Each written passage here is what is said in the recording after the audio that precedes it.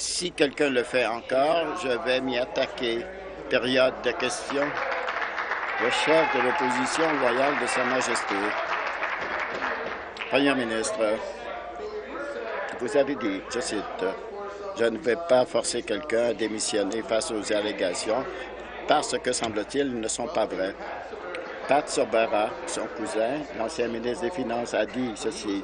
Lorsqu'il a été reçu un mandat d'arrêt, je n'avais aucune idée quelles étaient les allégations ou les faits sur lesquels les allégations s'inspirent. Et ma responsabilité, c'était de céder ma place. Pourquoi n'appliquez pas la même norme à Pat Sorbara? Pourquoi ne cède pas sa place alors qu'il y a une enquête en cours? Une fois de plus, Monsieur le Président, au chef euh, intérimaire de l'opposition, et c'est que pour moi, je prends ça très au sérieux. Et Pat Sorbara était un représentant, il était ministre de la Couronne. C'est une situation différente. Moi, je prends ça très au sérieux et Élection Ontario assume ces allégations étaient sans fondement. Nous allons continuer de coopérer. Je voudrais rappeler aux députés qu'il y a une enquête non en Chambre qui a lieu à l'extérieur de la Chambre et nous allons continuer à travailler avec les enquêteurs complémentaires. Ma question s'adresse à la première ministre. La première ministre ne va pas demander la démission avec quelqu'un dont il y a des allégations qui sont sans fondement. Et cela contredit les conclusions du, du directeur général des élections. Il y a une enquête au bureau du premier ministre et M. Sauvara avait dit entre-temps, il est approprié de céder ma place de mes responsabilités alors qu'il y a une enquête en cours. Pourquoi il n'est-il pas approprié de votre chef de cabinet adjoint de céder sa place alors que nous savons qu'elle a un rôle important? Elle est aussi importante qu'un conseil des ministres et qu'elle prend des décisions au même titre que les membres du conseil des ministres. Pourquoi ne, ne cède pas sa place? intéressant d'entendre les commentaires du député d'en face et qui révèlent davantage ou reflètent davantage le travail du gouvernement. De notre point de vue, je voudrais rappeler aux députés qu'est-ce que le directeur des élections a dit, et je cite, « Je ne décide pas d'intenter des poursuites ou de déterminer la culpabilité ou l'innocence de la personne. C'est la responsabilité de la division des poursuites criminelles. Et nous allons continuer à collaborer avec les enquêteurs, mais cette enquête a lieu à l'extérieur de la Chambre. Complémentaire final. Premier ministre, une autre fois, une fois de plus, votre euh, premier ministre adjoint vous avez montré une indifférence pour les allégations de l'opposition. Le directeur des élections, qui a une contravention évidente à la loi sur les élections. Première ministre, ce ne sont pas des allégations de l'opposition, ce sont des conclusions d'un agent indépendant de la Chambre. Une enquête n'a pas lieu à l'extérieur et finalement, c'est une enquête qui a lieu dans votre bureau, dans votre bureau, pardon. En, continuant de protéger Pat Sorbera, vous dénigrez la réputation des élus de la Chambre et les gens commencent à penser que c'est les affaires comme d'habitude, c'est-à-dire les affaires libérales comme d'habitude. Demandez à Mme Sorbera de céder sa place. Veuillez vous asseoir. Arrêtez la pendule. Premier ministre, j'ai fait des déclarations à plusieurs reprises et je l'ai dit vendredi dernier. Il y a une enquête en place, en cours, pardon, et je vais continuer à collaborer avec les enquêteurs. Ce processus est indépendant du gouvernement de l'Assemblée législative de l'Ontario. Le député le sait très bien. Je comprends pourquoi ces questions sont posées, mais je crois vraiment le fait d'accuser d'être un criminel lorsqu'il y a une enquête en cours, c'est inacceptable parce que le directeur général des élections a dit Je ne décide pas d'intenter une poursuite. Or, je détermine non plus l'innocence ou la culpabilité de la personne. Je laisse cette chose à la division des poursuites aux criminels. Le directeur général des élections laisse la chose à la division des poursuites criminelles, à la première ministre. La Commission des services civils de l'Ontario ont l'obligation de respecter, maintenir et, et suivre la loi. Si c'est vrai pour chaque citoyen, c'est encore plus vrai pour les personnes qui ont une responsabilité législative pour l'application de la loi dans leur collectivité. Vous avez ignoré la demande de la démission de Jerry Locke et vous avez ignoré les normes élevées qui sont attendues en tant que commissaire de la Commission des services de policiers de Sudbury. Voulez-vous demander à M. Lockheed de céder sa place et faire ce que doit? Veuillez vous asseoir.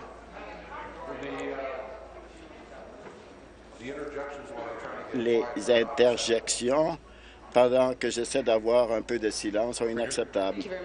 Première ministre, je l'ai dit et je vais le répéter. On ne dirige pas la, la commission des services policiers. C'est la responsabilité de cette commission des services policiers qui vont s'attaquer à cet enjeu. Et ils vont continuer à déterminer s'il y a eu des gestes inappropriés qui ont été euh, posés. Nous allons continuer à collaborer avec les enquêteurs parce qu'il y a une enquête à l'extérieur de la Chambre complémentaire.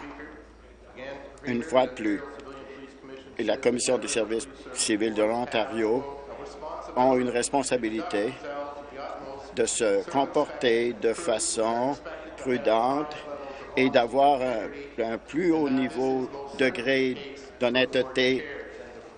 Fin de la citation. Première ministre, alors que vous avez nommé euh, M. Lockheed et maintenant son honnêteté et son intégrité sont remises en question, est-ce que les gens de Sudbury ont besoin d'un commissaire à la commission qui est au-dessous de toute soupçon, qui maintient tous les degrés élevés d'honnêteté et d'intégrité? Première ministre, des leaders parlementaires du gouvernement, merci, Monsieur le Président. Je crois que le député d'en face. Monsieur le Président, j'ai parlé de ce problème auparavant et ces commissions des services policiers sont responsables de leurs collectivités locales respectives et c'est pourquoi elles existent. Et donc, c'est pourquoi elles existent, pour s'assurer donc que les services policiers soient assurés de manière appropriée dans les collectivités dont elles s'occupent. Et donc, nous avons donc cette commission des services policiers qui hein, se compose de membres nommés et élus. Et cette commission a pris la décision de conserver M. Jerry Lou comme son président. Donc, c'est à eux de s'occuper de ce problème. Et la Commission civile de l'Ontario sur la police est très bien équipée pour s'occuper de tels problèmes. Merci. Le député de Lanark à l'ordre, s'il vous plaît. Complémentaire final. Monsieur le Président, la Commission civile de l'Ontario sur la police a également dit la chose suivante, qu'il fallait absolument que l'intégrité soit assurée. Je pense que nous sommes tous d'accord pour dire que malheureusement, l'intégrité de M. Jerry Lougheed a été sévèrement remise en question et c'est une chose qui va à l'encontre des règles de la Commission civile de l'Ontario sur la police. Madame la Première ministre, faites preuve de leadership. Débarrassez-vous de ces brebis galeuses. Débarrassez-vous d'une personne qui est président de la commission des services de police de Sudbury et dont la réputation a été entachée. Donc, essayez de sauver au moins votre réputation à vous, Madame la Première ministre. Rasseyez-vous, s'il vous plaît. Rasseyez-vous. Merci. Le ministre. Merci, Monsieur le Président.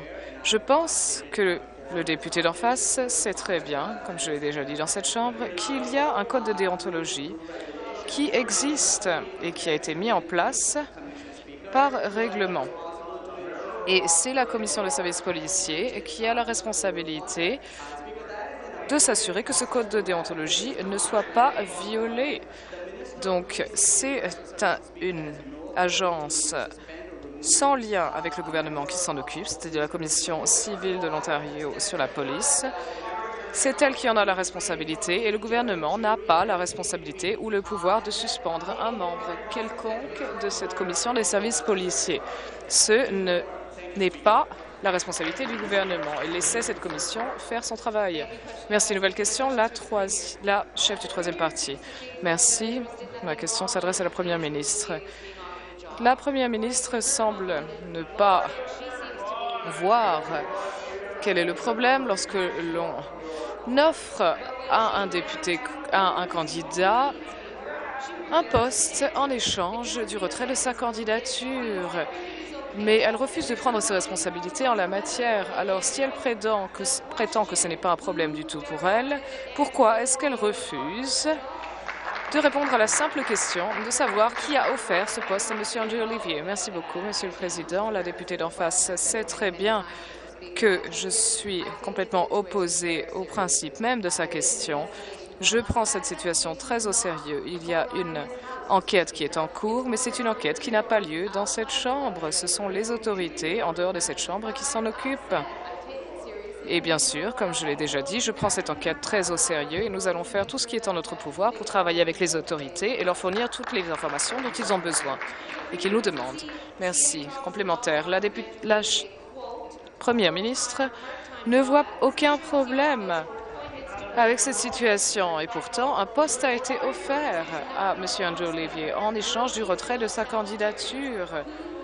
Alors, si la Première ministre pense que ce n'est pas un problème, est-ce qu'elle pourrait enfin dire aux Ontariens qui a fait miroiter ces postes à M. Andrew Olivier? Encore une fois, Monsieur le Président, la députée d'en face sait très bien que j'ai parlé de ce problème en Chambre et en dehors de la Chambre également et j'ai pris une décision qui était que Glenn Thibault serait notre candidat à Sudbury. Ça a été une décision très difficile pour Glenn de passer du NPD à notre parti. nous sommes très heureux qu'il ait pris cette décision. Nous sommes très heureux de l'avoir avec nous et il va vraiment parler d'une voix forte pour Sudbury. Et il y a une enquête en cours. C'est une enquête qui se déroule en dehors de la Chambre et nous allons travailler et coopérer avec les autorités. Merci. Complémentaire final. L'année dernière, la Première ministre a dit la chose suivante. Elle voulait s'assurer en priorité de répondre aux questions de manière exacte et complète lorsqu'elle serait posée.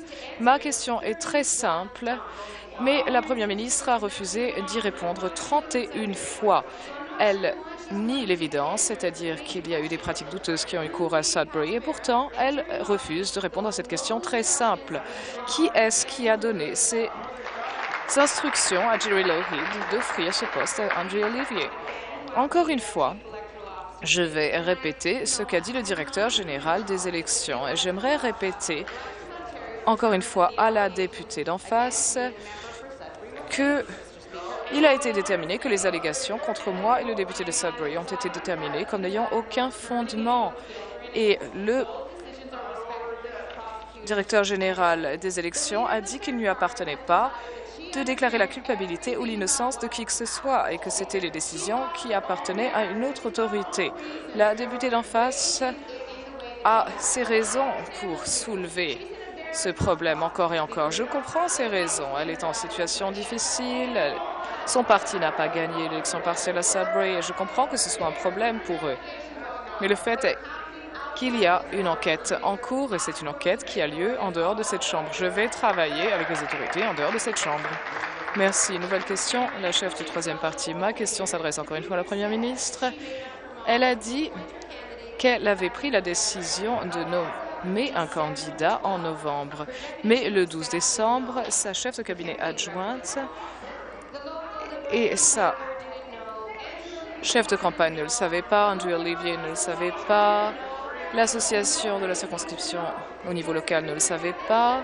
Donc personne ne savait que ce poste avait été offert à Andrew Olivier. Est-ce que la première ministre a quelque chose pour étayer sa version des faits? Alors, j'ai dit encore et encore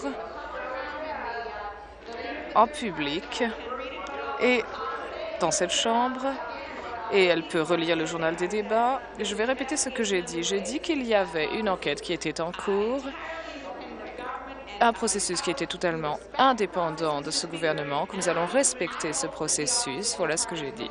Et j'espère que les partis de l'opposition vont faire de même. Nous allons travailler avec les autorités en dehors de cette Assemblée. Merci. Complémentaire. La, la Première ministre a dit qu'elle avait décidé de nommer ce candidat en novembre, mais elle ne peut pas prouver ses faits. Alors il a été dit par la vice-première ministre que la première ministre se penchait sur les faits et les preuves et qu'ensuite elle avait une conversation avec son âme. Est-ce que la première ministre s'est entretenue avec quelqu'un d'autre que son âme et est-ce qu'elle peut étayer ses propos? Merci, Monsieur le Président. La Première ministre sait très bien, et j'ai dit très clairement, que j'avais décidé que Glenn Thibault allait être notre candidat et il y a une enquête qui est en cours et qui euh, se déroule en dehors de cette chambre. Je suis tout à fait fière de notre député de Sudbury. Je suis tout à fait fière de Glenn Thibault. Glenn Thibault a vraiment été un représentant admirable des gens de Sudbury. Et il a fait campagne pour nous parce qu'il sait à quel point il est important d'investir dans les gens, leurs talents, leurs compétences, d'investir dans les infrastructures. Et il y a des infrastructures dont ont cruellement besoin les gens de Sudbury pour faire avancer cette circonscription. Il dit également qu'il est important, il le sait très bien, que les gens aient une sécurité au niveau de leur retraite. Et c'est pourquoi je suis heureuse qu'il soit devenu notre candidat. Merci. Complémentaire final. Il y a à peu près deux ans, la Première ministre a dit la chose suivante. Elle a dit qu'elle avait dit qu'il était impératif d'ouvrir le processus et de fournir des renseignements nécessaires lors de la course leadership.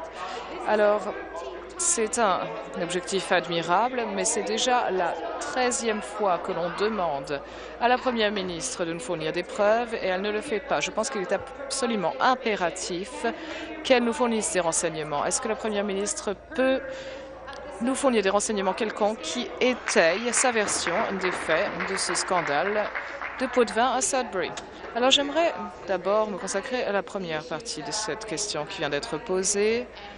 Alors, j'ai soulevé cette question au moment où je prenais part à la course leadership, la course à la chefferie de mon parti, et je me suis engagée à être ouverte et transparente. Et je l'ai fait. Nous avons étendu le mandat du comité permanent de la justice. Des centaines de milliers de documents ont été fournis à ce comité.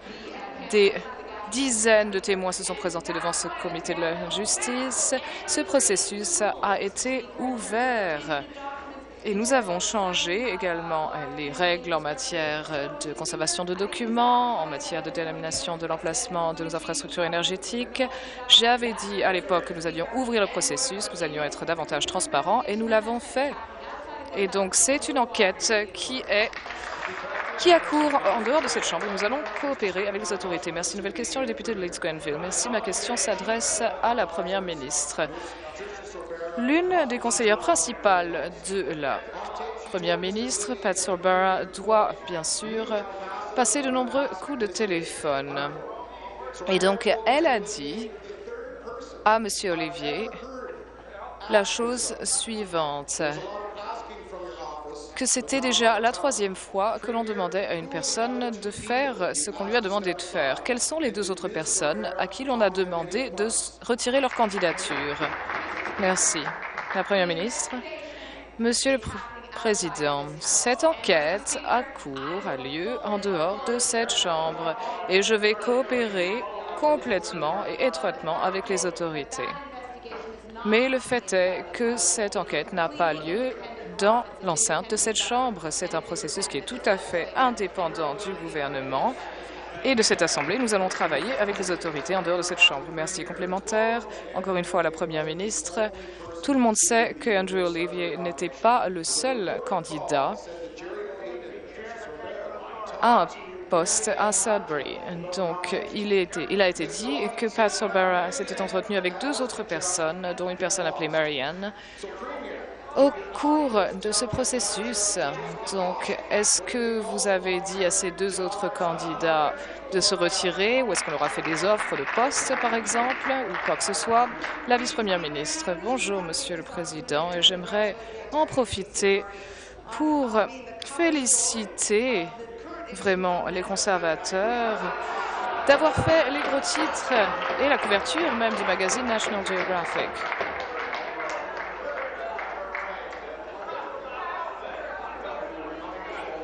J'aimerais rappeler à tout le monde que j'essaye de maintenir le décorum dans cette Assemblée et que votre travail consiste à m'aider à le maintenir. Et il faudrait que nous continuions de nous comporter de manière civilisée au cours de la période des questions. Merci. Alors, j'aimerais vraiment, vraiment, sincèrement, les féliciter. Il y a un article sur euh, la lutte contre la science au niveau des conservateurs. C'est vraiment très intéressant et j'aimerais vous donner votre mon numéro afin que vous puissiez le dédicacer pour moi. Ce serait vraiment une bonne chose. Donc la notion que l'évolution euh, n'existe pas, que le changement climatique n'existe pas, représente très bien la position des conservateurs. Donc j'aimerais les en féliciter. Merci. Nouvelle question, le député de Timmins, B. James. Et j'aimerais vraiment rappeler à tout le monde ce que j'ai dit concernant les accessoires. Donc, ma question s'adresse à la Première ministre. Le 12 décembre, Pat Barra a dit à Andrew Olivier qu'on lui avait demandé directement au niveau de la chefferie du parti de retirer sa candidature afin de donner l'occasion à Glenn de présenter sa candidature sans avoir de concurrence. Est-ce que ce sont les instructions qu'a données la Première ministre à?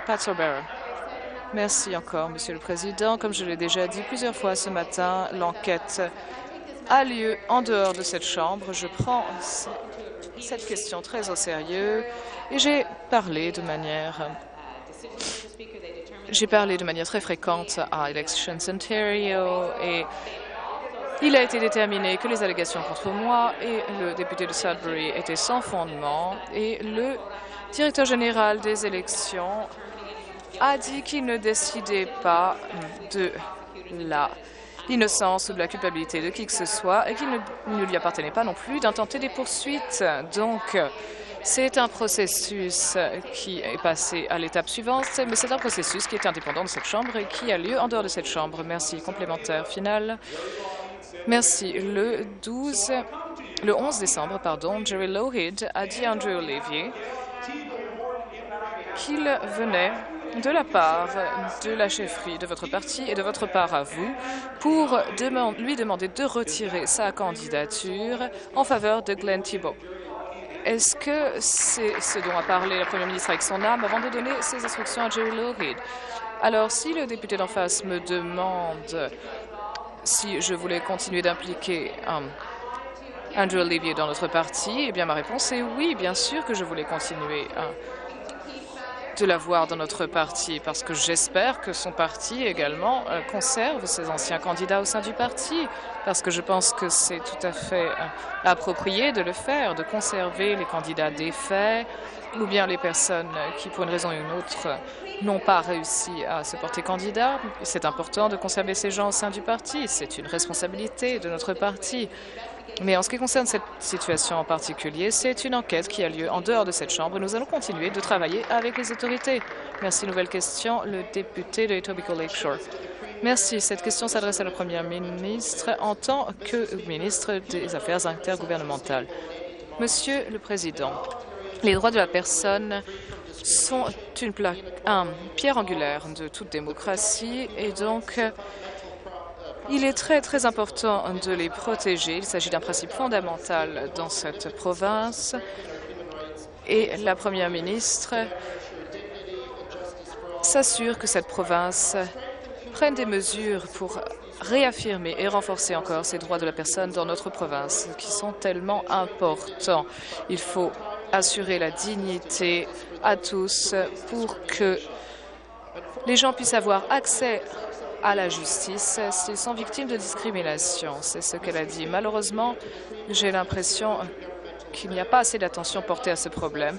Donc j'aimerais demander à la ministre aux Affaires intergouvernementales ce qu'elle a fait pour s'assurer que les Ontariens aient davantage accès à la justice. Merci. Je remercie le député de sa question. Je suis tout à fait d'accord pour dire que la défense des droits de la personne est vraiment une pierre angulaire de notre société et de notre province. J'aimerais vraiment remercier Barbara qui est là et qui est la présidente de la Commission de l'Ontario aux droits de la personne. Merci de votre présence ici. Vous savez, Monsieur le Président, ces dix dernières années, ces dix dernières années, Barbara a donc surveillé le travail de cette commission sur les droits de la personne et il y a eu vraiment des enquêtes sur les racines de cette discrimination. Il y a eu de nombreux défis auxquels on s'est consacré. Certains étaient nouveaux, d'autres étaient déjà fort anciens. Et il y en a deux qui vraiment, pour moi, sont prioritaires. Il s'agit du logement et de l'identité de genre. Nombre de personnes ne voient pas vraiment à quel point ces domaines sont liés aux droits de la personne, mais je pense que grâce au travail de Barbara, eh bien, les choses vont bien changer pour les personnes vulnérables de cette province. Merci. Complémentaire. J'aimerais remercier le Premier ministre pour sa réponse. Le travail qui a été accompli dans ce domaine est vraiment admirable et c'est un modèle pour d'autres provinces, territoires et États.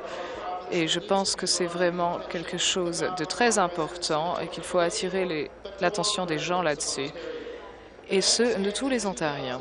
Et je pense qu'en 2008, d'après ce que je sais, le gouvernement ontarien a commandité un rapport pour se pencher sur la situation des droits de la personne dans notre province.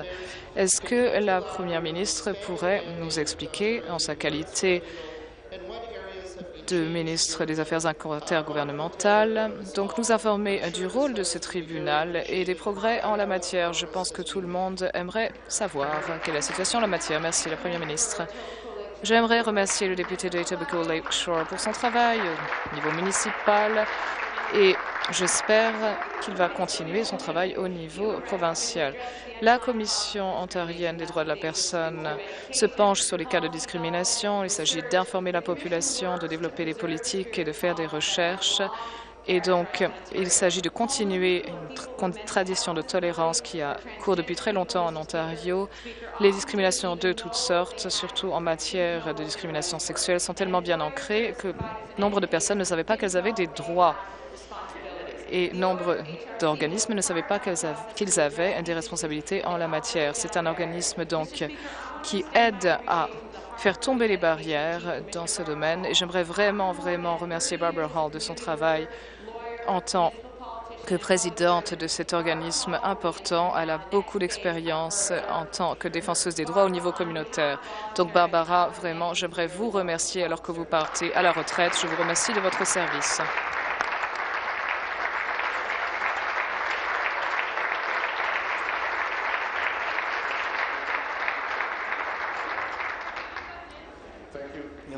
Nouvelle question, député London. Merci, Monsieur le Président. Ma question s'adresse au ministre de la Sécurité communautaire et des services correctionnels. Monsieur le ministre, mardi, lors de votre absence, la procureure générale a déclaré qu'en vertu de la loi des services policiers, en tant que ministre, vous êtes en mesure de demander la démission de membres de la commission d'une commission policière. Monsieur le ministre, est-ce que vous allez demander la démission Est-ce que vous allez demander à la Commission de mener une enquête par rapport au comportement de Jerry Lahey?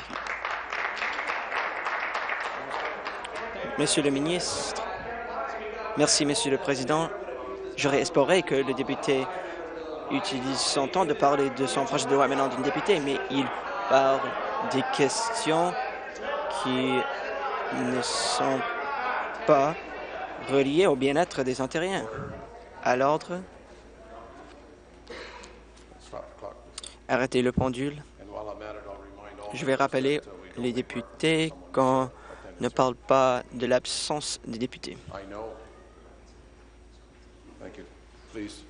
Veuillez terminer. Monsieur le Président, merci. Comme je l'ai dit à plusieurs reprises,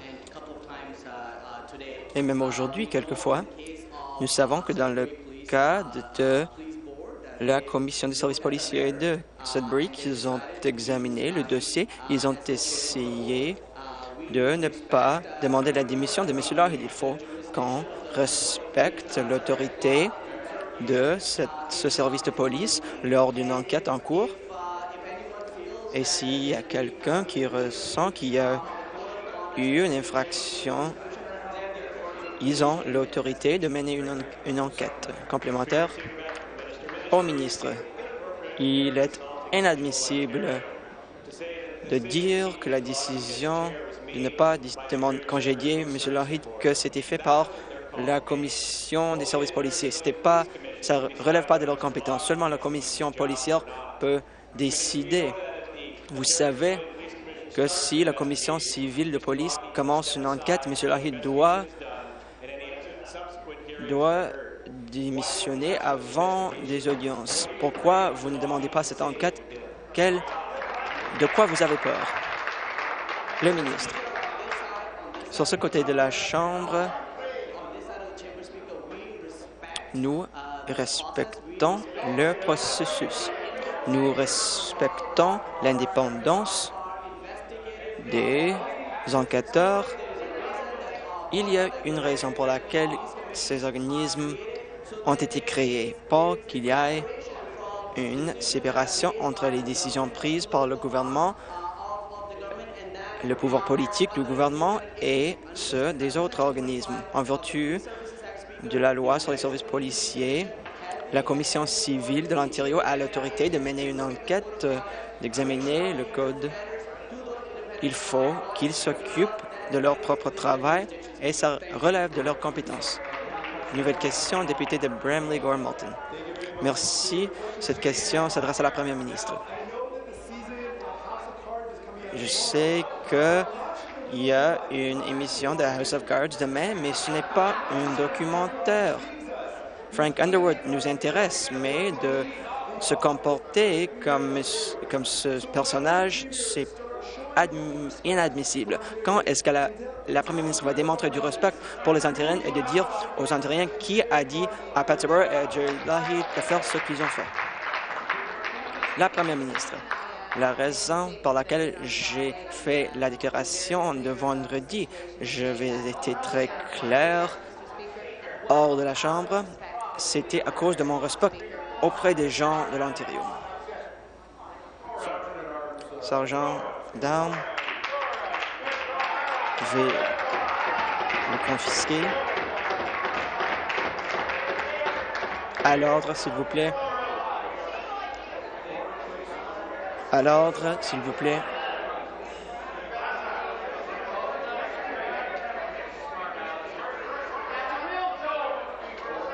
À l'ordre, s'il vous plaît.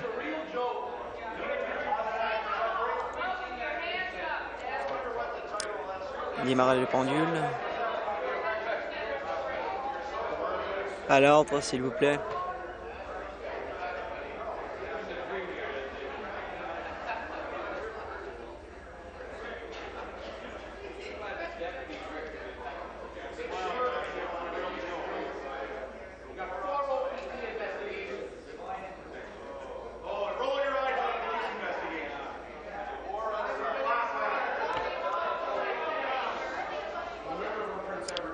Le député de Prince Edward Hastings à l'ordre?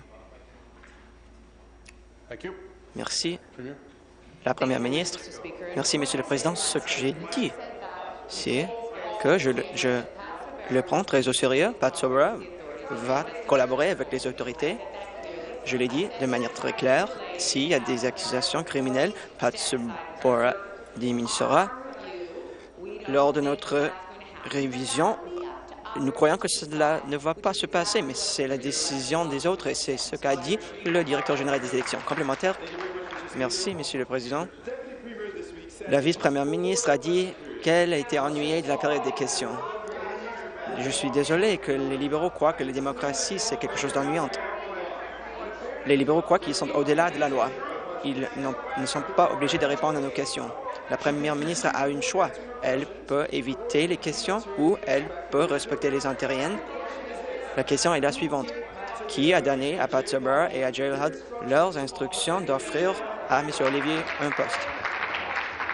Monsieur le Président,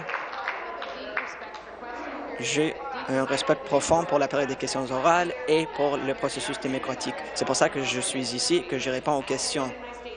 Comme je l'ai dit vendredi, Pat va continuer de collaborer avec les autorités lors de l'enquête. Le député de Nipissing chahute par rapport à, l'information.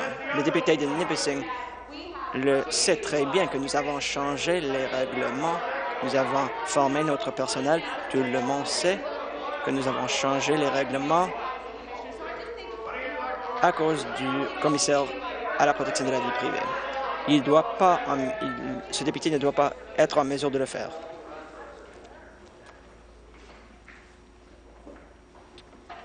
Vous voulez terminer?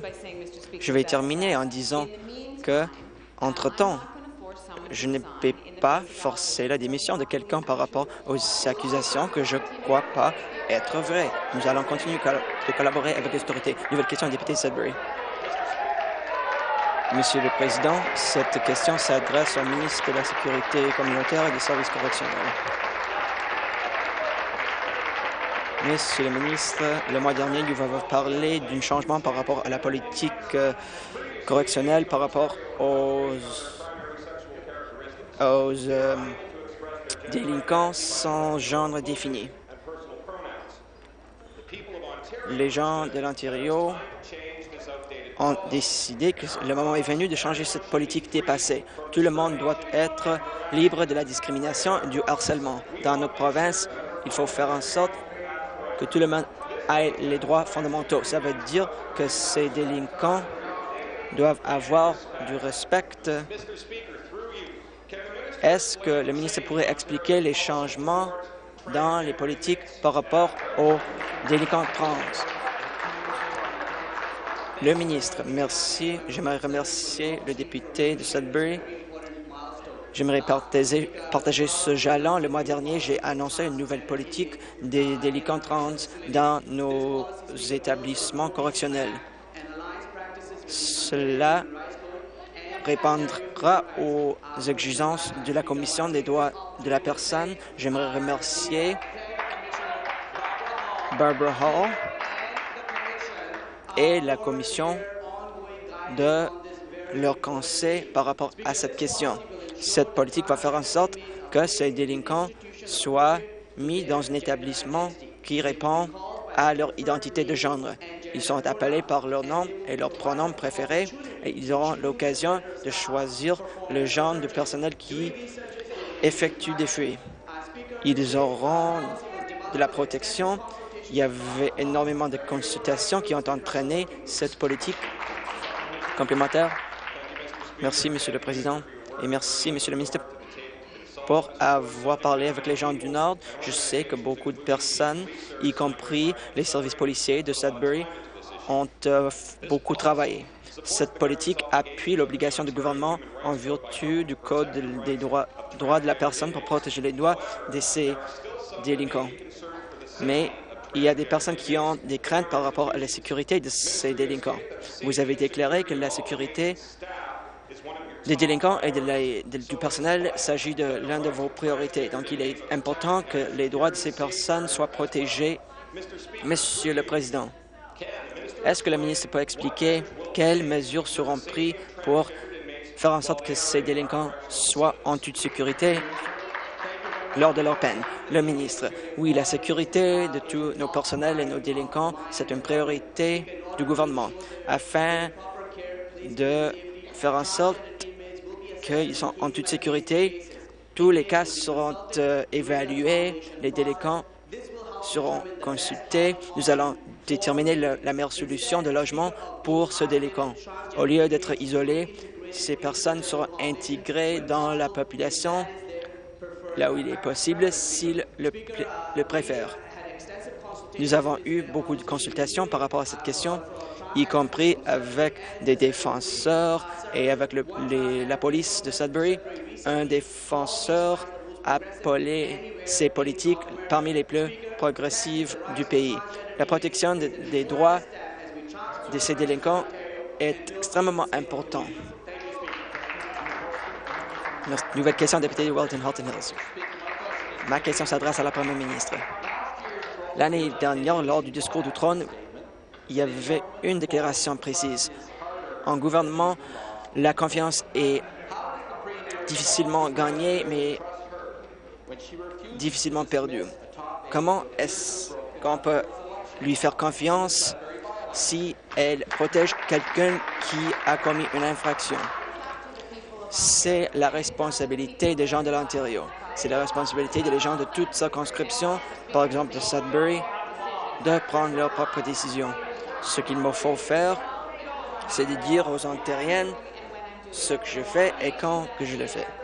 Par rapport à la question soulevée par le député en face, j'ai été très clair. Pat Sobera va collaborer avec les autorités. S'il y a des accusations criminelles, M. Sobera démissionnera.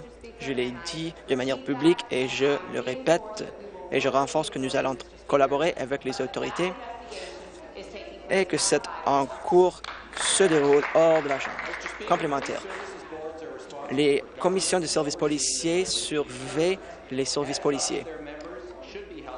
Leurs membres doivent assumer leurs responsabilités. Lorsque Élection Ontario dit que quelqu'un sort cette commission a commis une infraction criminelle, c'est ce qu'ils ont écrit dans leur rapport. La première ministre ne peut pas dire que c'est juste une journée normale. Pour citer le discours du trône, la confiance est, difficilement gagnée, mais facilement perdue. Comment est-ce qu'elle s'attend à ce que les Ontariennes lui font confiance si elle protège cette commission des services policiers lors de la, partielle de Sudbury. La vice-première ministre. Il est évident que les députés d'en face ont de grandes préoccupations par rapport à l'intégrité du gouvernement. J'aimerais les poser la question suivante. Où est-ce qu'ils étaient en 2011 lorsque deux, quatre conservateurs du gouvernement Harper ont été, ont, avaient des amendes pour avoir commis une infraction de la loi sur les élections? Député de Leeds Grenville, À l'ordre. À l'ordre.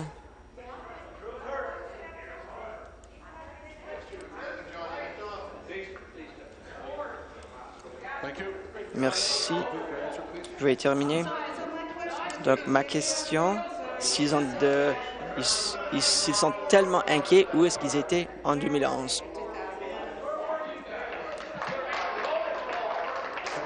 Merci. Nouvelle question, député de Hamilton, East Stony Creek. Merci, Monsieur le Président. Ma question s'adresse à la Première ministre, bien sûr. Ce n'est pas seulement l'opposition qui dit que le comportement du gouvernement n'est pas correct. C'est aussi le Toronto Star, Toronto Sun, Globe and Mail, le National Post, The Waterloo Record, le Hamilton Spectator.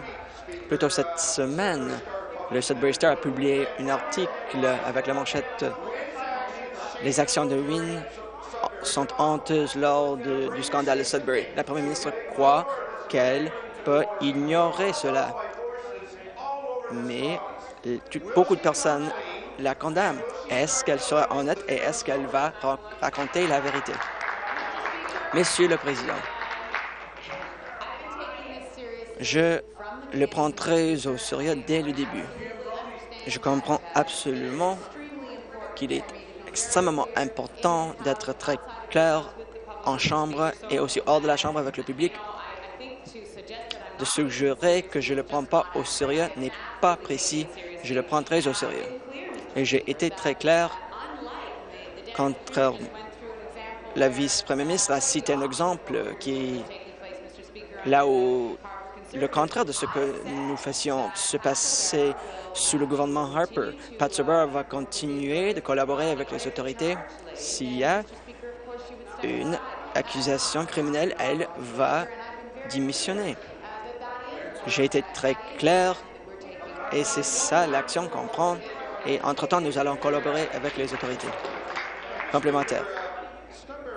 Le Sudbury Star dit aussi, on s'attend à ce que Wynne serait plus honnête. Elle devrait mais au lieu, elle a réagi de manière inappropriée. Les libéraux se trouvent sur le mauvais côté du scandale et tout le monde le sait, sauf la première ministre. Est-ce qu'elle elle sera honnête et est-ce qu'elle va dire aux Ontariennes la vérité? Monsieur le Président, je l'ai dit à plusieurs reprises, je prends très au sérieux cette affaire et soyons clairs. Il y a eu beaucoup de processus en cours les antérieures ont déterminé que les accusations n'avaient aucune fondation et nous allons continuer de collaborer lors de cette enquête d'élection antérieure, mais le directeur général des élections a dit très clairement je ne prends aucune décision par, rapport à l'innocence ou la culpabilité de qui que ce soit. C'est ça la responsabilité des juges et des procureurs. Donc l'enquête va vers son première, sa, prochaine étape, mais cette enquête se déroule, hors de la Chambre. Nouvelle question, député de Davenport. Merci, Monsieur le Président. Ma question s'adresse au ministre du Développement du Nord et des Mines. Je sais que l'Ontario est le meilleur endroit pour l'exploration minérale. Je comprends l'importance du secteur minier pour notre province, L'Association des entrepreneurs de l'Ontario aura sa convention annuelle la semaine prochaine. Est-ce que le ministre peut mettre à jour la Chambre par rapport à cette convention annuelle et expliquer la manière par laquelle elle démontre le secteur minier de la province? Le ministre du Développement du Nord et des Mines. Merci de l'occasion de parler au sujet de cette euh, conférence qui commencera ce, euh, ce dimanche. C'est quelque chose de merveilleux. Il y a 25 000 personnes de plus que 100 pays qui viendront et c'est une occasion excellente pour la province de démontrer les réussites du secteur minier de la province. nous allons commencer cette conférence avec notre réception. Il y aura des représentants des Premières Nations, des représentants municipaux. Nous invitons tout le monde de l'Assemblée. Je sais que mes porte-paroles seront là. J'espère que tout le monde va assister à cet événement, mais nous aimerions que ce soit clair que nous voulons raconter l'histoire de l'Ontario par rapport au secteur minier et nous allons raconter notre histoire. Question complémentaire. Merci, Monsieur le Président. Je veux remercier le député de sa mise à jour. Nos secteurs miniers de la province est impressionnant et je suis très content qu'on ait ce congrès international ici. Euh, C'est le congrès, la conférence, la convention la plus grande au monde sur le secteur minier. Comme vous savez, L'industrie minière est très importante non seulement pour le nord de l'Ontario, mais pour toute la province et notre gouvernement continue à engager des partenaires, euh, des entreprises et de Premières Nations pour assurer qu'on ait un climat favorable au secteur minier. Et je demande au ministre comment est-ce qu'il démontre l'appui de notre gouvernement au secteur minier? Réponse du ministre. Merci pour la question. Nous sommes engagés à avoir un climat d'investissement très positif dans le secteur minier. Un des indicateurs euh, le plus important, c'est les dépenses en exploitation minière et le reste que le chef de file canadien pour l'exploitation minière c'est nous et c'est très important. Et la production des métaux aussi, et le fait que nous avons des nouvelles mines qui ouvrent cette année et d'autres. Il y a beaucoup de bonnes choses, il y en a encore du travail à faire quand même. Mais on a un climat d'investissement ici en Ontario très positif et on espère que tous les gens seront là à la convention, au congrès des prospecteurs et des promoteurs. Nouvelle question. Ma question est adressée aux premières. Madame Première, comment c'est possible que quelqu'un qui est le sujet d'une enquête pour les irrégularités peut maintenir l'accès de données gouvernementales qui se fait investiguer. Pensez-vous vraiment que ceci reflète la qualité du gouvernement que les résidents d'Ontario méritent? Euh, je crois que les, résidents, les gens de l'Ontario méritent euh, la vérité, méritent euh, un, gouvernement honnête, un, gouvernement qui travaille très, très fort pour, adresser les concerns de, de, de l'éducation, de, de, santé. Et, Monsieur le Président, cette investigation ne, ne passait ici dans le sur le plancher sur le plancher ici dans l'Assemblée législative. L'investigation, c'est euh, une investigation euh, autorité.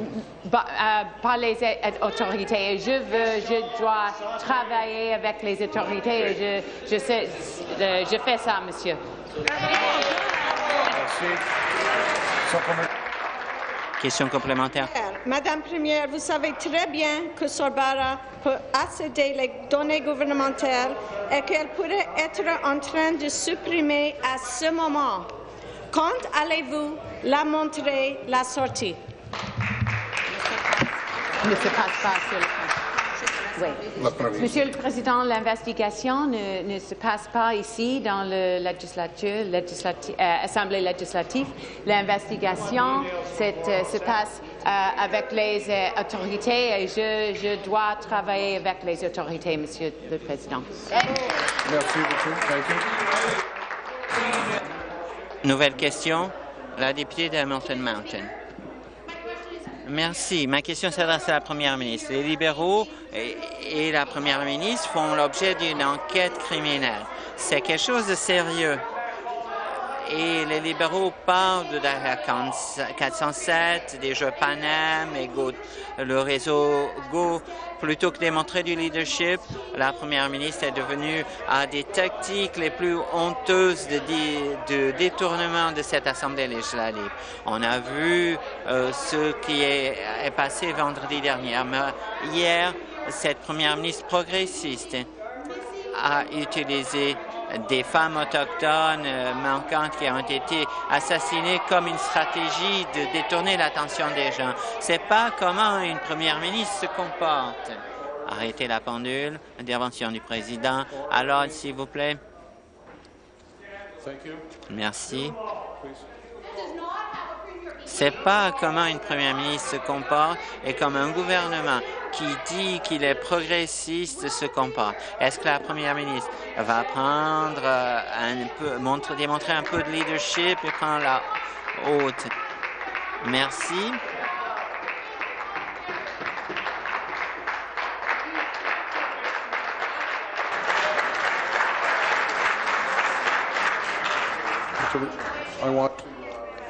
Je veux rappeler à la députée de Hamilton Mountain, quand je me lève, vous, devez vous asseoir.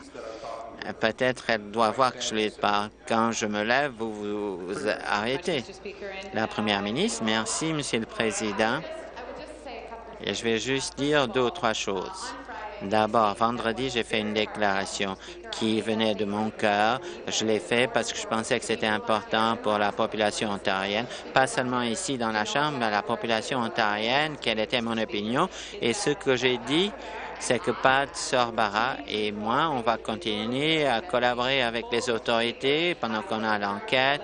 S'il y a des chefs d'accusation qui sont déposés, Pat Sorbara, bien sûr, va s'excuser et se retirer. Mais entre-temps, on continue à travailler avec les autorités. Mais la députée d'en face a raison. J'ai dit dans cette Chambre, et je l'ai dit aussi euh, récemment qu'hier, il y a beaucoup d'autres choses importantes dont il faut parler. Pas que cela n'est pas important, c'est sérieux, mais des choses comme les femmes autochtones qui manquent à l'appel et qui ont été tuées. C'est très important. Je vais à Ottawa pour avoir une table ronde demain et c'est un enjeu très, très sérieux. Merci. Nouvelle question.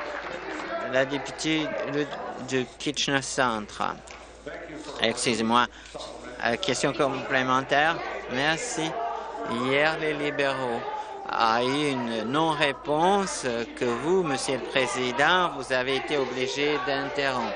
Et vous avez dit la tradition de cette Chambre, c'est que la question euh, de, euh, déposée doit, mérite une réponse. C'est des questions sérieuses qui méritent d'avoir une réponse. Et à chaque fois, les Ontariens ont de non-réponses et les libéraux démontrent leur arrogance. La première ministre n'a pas répondu à la question 35 fois. Qui a donné les instructions à Pat Sorbara et à Jerry Lougheed? Et, Monsieur le Président, la réponse directe, c'est qu'il y a une enquête qui a lieu et cette enquête n'a pas lieu ici en Chambre.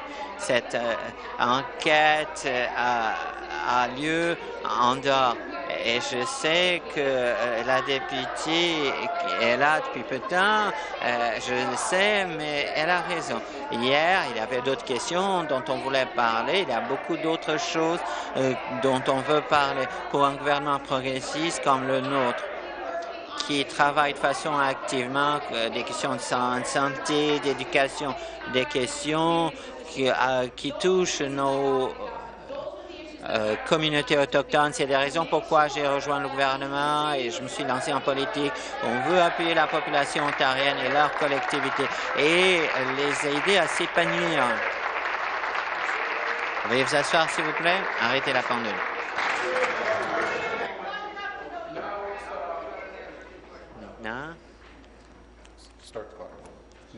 Démarrer la pendule. Nouvelle question, la députée de Kitchener. Merci, Monsieur le Président. Ma question s'adresse au ministre de la Santé et des Soins de longue durée. Monsieur le Président, on a tellement de gens qui sont ici à l'Assemblée législative qui sont dans la profession des infirmières et c'est malheureux qu'on ne les a pas mentionnés jusqu'ici. L'opposition a eu l'occasion de le faire et malheureusement, ils ne l'ont pas fait. Je vais donc vous poser une question sur les gens qui travaillent dans cette profession très importante. Dans ma circonscription de Kitchener Centre, nous aimons les infirmières dans les hôpitaux, les cliniques, les établissements de soins de longue durée. J'aimerais demander au premier au ministre de la Santé de nous parler de ça. Quelle est l'importance des infirmières dans notre province? Le ministre de la Santé et des soins de longue durée. Merci, je dis avec tout le respect et avec beaucoup de surprise qu'aucun des partis de l'opposition poser une seule question sur la, profession des infirmiers et infirmiers. Et je prends cette occasion pour reconnaître le travail des plus de 135 000 infirmières et infirmiers qui travaillent chaque jour dans cette province avec beaucoup d'acharnement.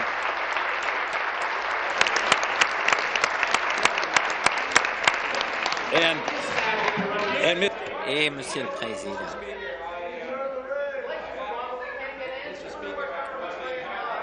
pendant qu'on fait du chahutement, je dois dire que la population de la province, et aiment leurs médecins, euh, moi-même, mais les Ontariens et Ontariennes aiment, adorent leurs infirmiers et infirmiers. Ma a été une infirmière autorisée depuis plus de 40 ans à Alderman, Norfolk, et j'ai grand plaisir d'avoir l'occasion avec la première ministre de passer quelques minutes avec euh, l'Association des infirmières et infirmiers autorisés de l'Ontario, la RNAO. Merci. Question complémentaire. Je veux remercier euh, au ministre sa réponse très éloquente et euh, le fait qu'on ait applaudi de façon nourrie les infirmières quand, euh, vu que vous avez eu l'occasion de parler avec les infirmières, pouvez-vous nous dire ce dont vous avez parlé? Réponse du ministre. Depuis euh, huit mois que je suis ministre de la Santé, j'ai eu le plaisir de travailler de façon responsable, très proche avec les infirmières, soit les infirmières autorisées, les infirmières praticiennes ou d'autres. Quand on a travaillé pour la crise sur le virus de l'Ebola, c'était les infirmières de toute la province et de tout le pays euh, les travailleurs de première ligne qui nous ont alertés qu'il fallait faire davantage un meilleur travail pour de préparation du potentiel d'un cas du virus d'Ebola. Je leur remercie du fait qu'on a donné un bon travail. Et cela ne s'arrête pas. Avec les patients internationaux, avec les soins de santé aux réfugiés, les déterminants de la santé, le rapport publié récemment pour nous guider sur des améliorations et des changements qu'il faut faire dans les soins de santé. Je veux remercier euh, les infirmiers et infirmières qui soient là et j'ai hâte de les voir bientôt. Merci. Intervention du président. Veuillez vous asseoir, s'il vous plaît. Nouvelle question. Le député de Leeds-Grenville. Je reviens à la première ministre. Je viens de recevoir une déclaration publique à 11 heures des services policiers euh, de la grande région de Sudbury du vice-président cette semaine la euh, commission des services policiers de Sudbury a eu une réunion interne et a retenu un avocat pour euh, réfléchir à la décision du directeur général des législations. Ils ont décidé d'être en contact avec euh, la commission civile des services policiers de Toronto. Ils sont concernés quant à leur situation. Madame la Première ministre, la population de Sudbury, les hommes et femmes de la commission des services policiers et les policiers ont besoin de votre leadership. il faut que euh, Jerry Lougheed et Pat Sorbara euh, se retirent, se désistent pendant qu'on a cette enquête. la Commission exprime ses préoccupations. Fait ce qui s'impose, demandez-leur de se retirer. Intervention du président. Veuillez vous asseoir, s'il vous plaît. La première ministre le ministre des Services communautaires et services correctionnels, sécurité communautaire, services correctionnels. J'ai déjà donné une réponse à plusieurs reprises sur cette question. Nous savons que les services policiers existent pour assurer qu'il y ait des services de police euh, fiables. Il y a des élus euh, municipaux, des nominations municipales et provinciales. Il y a un code déontologique que ces gens-là doivent suivre par règlement. Si on pense qu'il y a un bris, une infraction à ces codes déontologiques, et donc, euh, la commission civile des services policiers doit prendre la décision. Pourquoi cela existe? Parce que c'est une agence euh, indépendante et donc euh, il faut laisser cette commission faire son travail. Et s'ils pensent qu'ils doivent revoir. Merci. Question complémentaire. Je reviens au ministre. Vous savez ce que cette commission le fait et vous savez pourquoi euh, la commission des services policiers ont embauché un avocat et ont pris cette décision. Ils sont aussi concernés que nous, nous sommes avec cette question-là. Ils ont pris la décision sans euh, l'implication du président. C'est ici noir sur blanc. Vous êtes le ministre. Vous avez l'autorité selon la loi de demander à la commission civile des services policiers. Faites votre travail. Veuillez vous asseoir, s'il vous plaît. Veuillez vous asseoir, s'il vous plaît. Merci.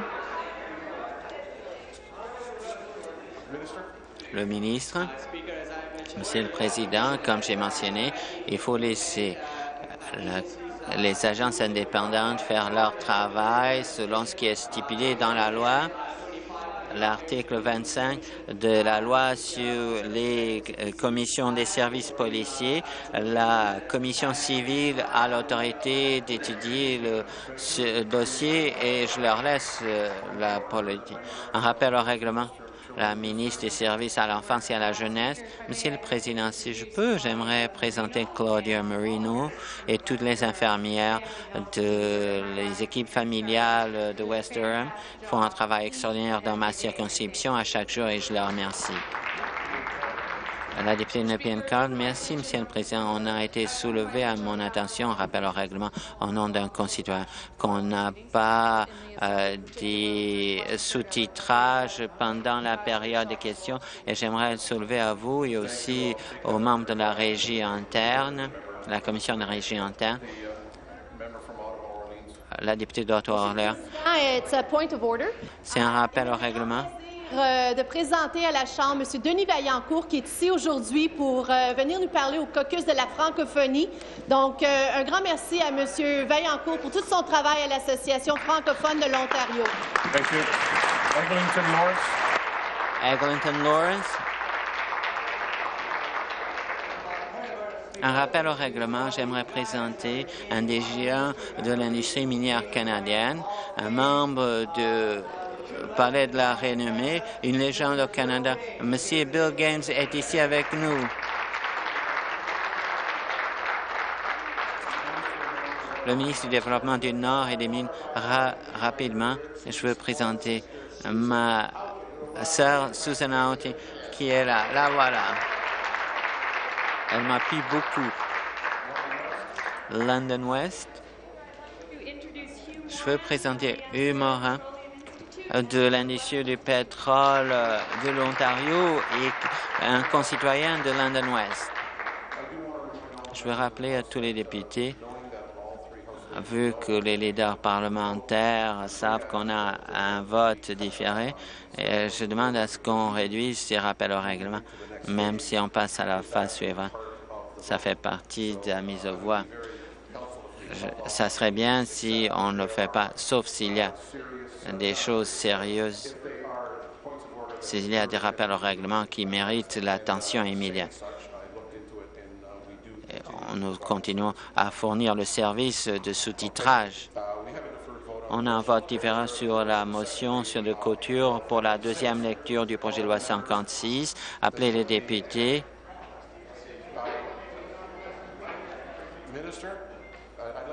J'aimerais le faire, Monsieur le ministre.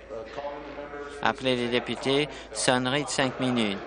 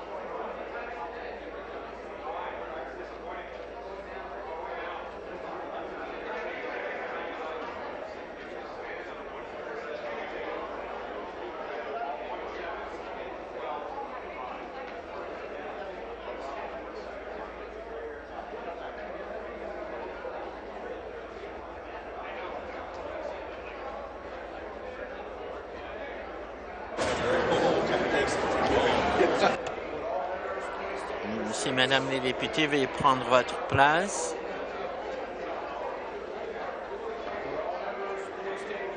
Je vais prier tous les députés de s'asseoir.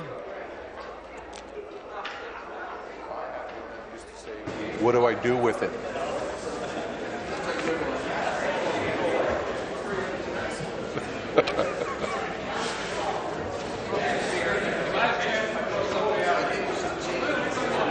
Don't tempt me.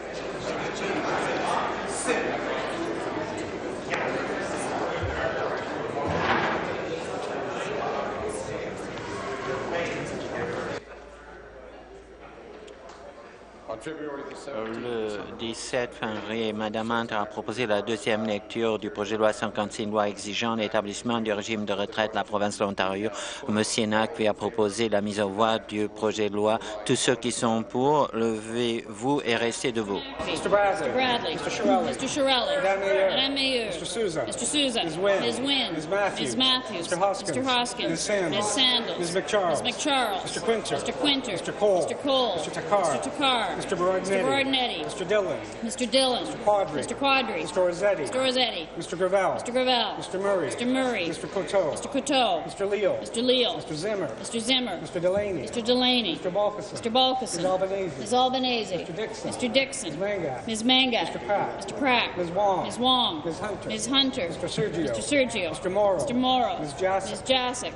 Mr. Del Duca. Mr. Del Duca. Ms. Domerla. Ms. Domerla. Mr. Fraser. Mr. Fraser. Mr. Anderson. Mr. Anderson. Mr. Baker. Mr. Baker. Mr. Ballard. Mr. Ballard. Mr. Dong. Mr. Dong. Ms. Hogarth. Ms. Hogarth. Ms. Koala. Ms. Koala. Madame Lalonde. Madame Lalonde. Ms. Molly. Ms. Molly. Mrs. Martin. Mrs. Martin. Ms. Ms. McGarry. Sorry, Ms. McMahon. Ms. McMahon. Mr. Milchin. Mr. Milchin. Ms. Naidu Harris. Ms. Naidu Harris. Mr. Potts. Mr. Potts. Mr. Rinaldi. Mr. Rinaldi. Ms. Verneal. Ms. Verneal. Mr. Tebow. Mr. Tebow. Mr. Bisson. Mr. Bisson. Ms. Horvath. Ms. Horvath. Mr. Ho- Mr. Vantoff. Mr. Vantoff. Ms. DeNovo. Ms. DeNovo. Madame Jalina. Madame Jalina. Mr. Tabbins. Mr. Tabbins. Mr. Miller, Hamilton East, Stony Creek. Mr. Miller, Hamilton East, Stony Creek. Ms. Sattler. Ms. Sattler. Ms. Taylor. Ms. Taylor. Mr. Nadishak. Mr. Nadishak. Ms. Armstrong. Ms. Armstrong. Mr. Singh. Mr. Singh. Ms. Fife. Ms. Fife. Ms. Forrester. Ms. Forrester. Mr. Mantha. Mr. Mantha. Mr. Hatfield. Mr. Hatfield. Mr. Gates. Mr. Gates. Ms. Gretzky. Ms. Gretzky. Ms. French. Ms. French. Tous ceux qui sont contre, levez-vous et restez debout. Clark. Mr. Arnott. Mr. Arnott. Mr. Hardiman. Mr. Hardiman. Ms. McLeod. Ms. McLeod. Ms. Elliott. Ms. Elliott. Mr. Wilson. Mr. Wilson. Mr. Fidelli. Mr. Fidelli. Mr. Miller, Perry Sound, Muskoka. Mr. Miller, Perry Sound, Muskoka. Mr. Dunlop. Mr. Dunlop. Mr. McNaughton. Mr. McNaughton. Ms. Jones. Ms. Jones. Ms. Thompson. Ms. Thompson. Mrs. Monroe. Mrs. Monroe. Ms. Scott. Ms. Scott. Mr. Urich. Mr. Urich. Mr. Hillier. Mr. Hillier. Mr. Walker. Mr. Walker. Mr. Smith. Mr. Smith. Ms. Marteau. Ms. Marteau. Mr. McDonnell. Mr. McDonnell. Mr. Pettipies. Mr. Pettipies. Pour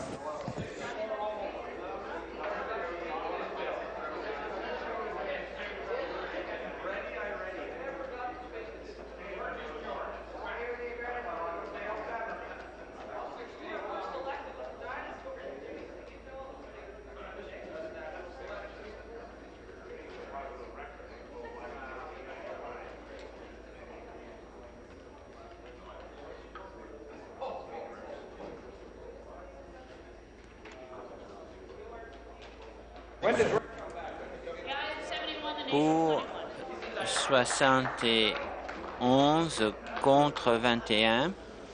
Vu qu'il y a 71 pour et 21 contre, la motion est adoptée. Madame Hunter a proposé la deuxième lecture du projet de loi 56, loi exigeant l'établissement du régime de retraite de la province. Plaît-il à, la- Chambre que la motion soit adoptée? Tous ceux qui sont pour le diront oui, tous ceux euh, qui sont contre diront non. À mon avis, le oui l'emporte. Appelez les députés. Sonnerie de cinq minutes.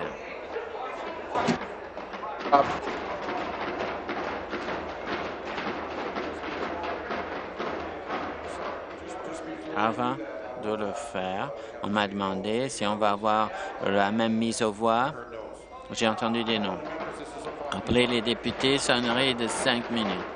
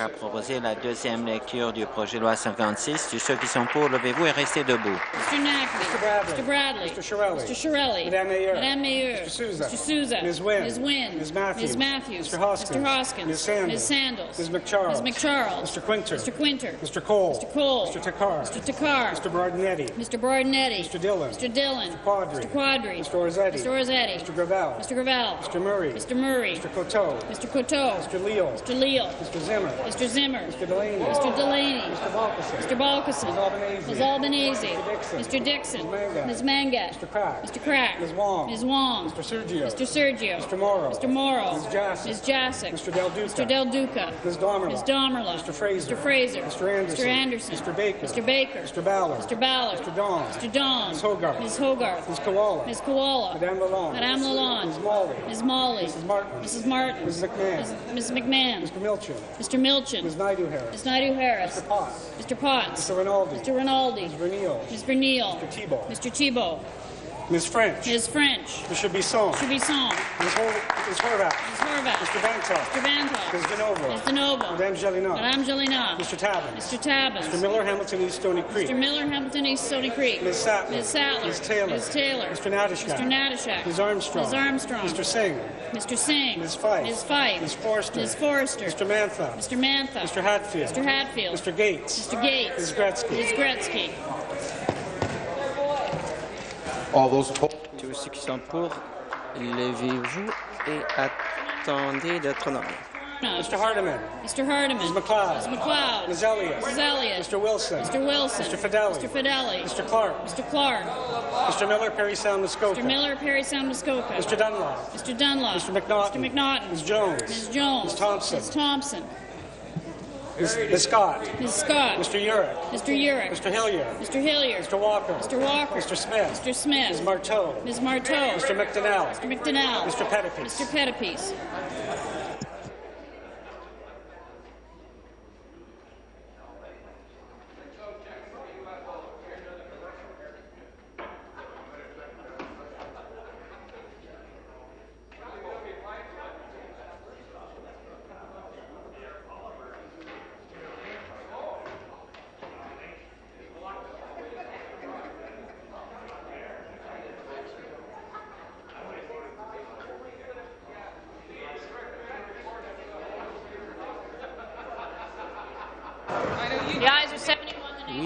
14, non 21.